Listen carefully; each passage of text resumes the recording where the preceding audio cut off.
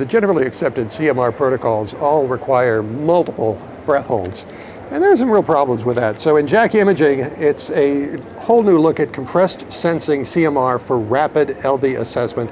And I'm with Jörg Schwitter, who is the MD, Director of Cardiac MR Center at the University Hospital of Lausanne in Switzerland.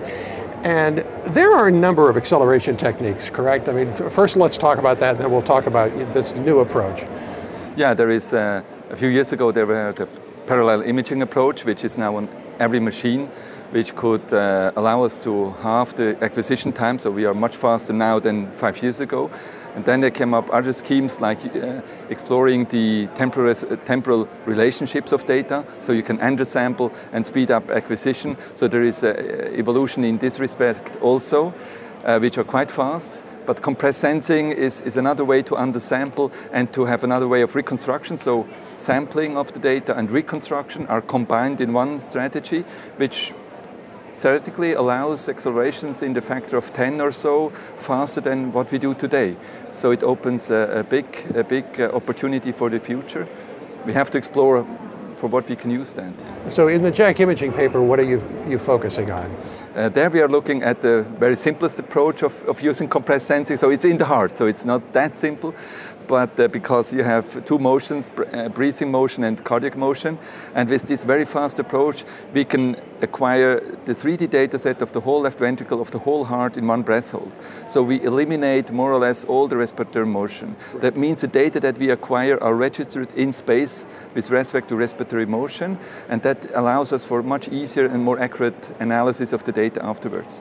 So we, we are just looking at LV function, at, in this paper, and it showed that, that if the data are registered in, in space with respect to motion, to, to respiratory motion, we are more precise than with techniques that we have today. So we are more precise and faster.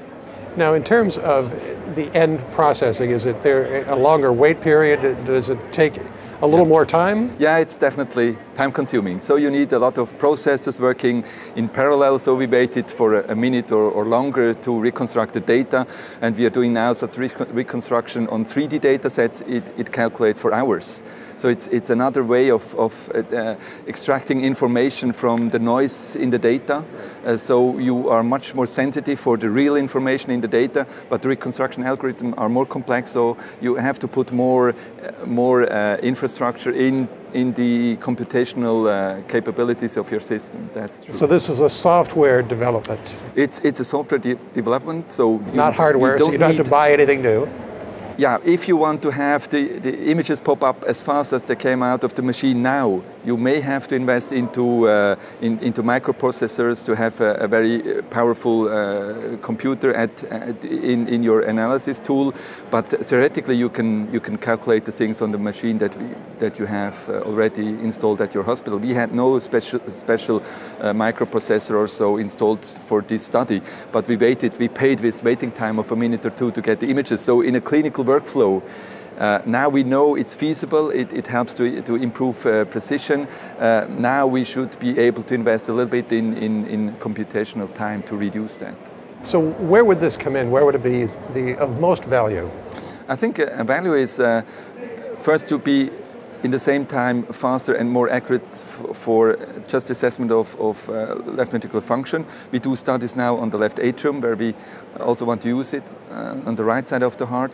Uh, I think it, it's worth, uh, worthful information or tool in patients which are sick, which cannot hold their breath for a long time. So we are faster in that and can do studies in very sick patients, maybe in acute cardiac care patients. In this population, we are faster and, uh, and, and can apply the technique to patients who can hold the breath for maybe only one or two uh, heartbeats. So are you going to be doing any additional studies? Yeah, we are doing now a lot of studies on, on the left atrium. Uh, we have just now something ready to, to submit. We don't know to which journal, but there are good journals out and they're already accepted papers Ooh. from our groups.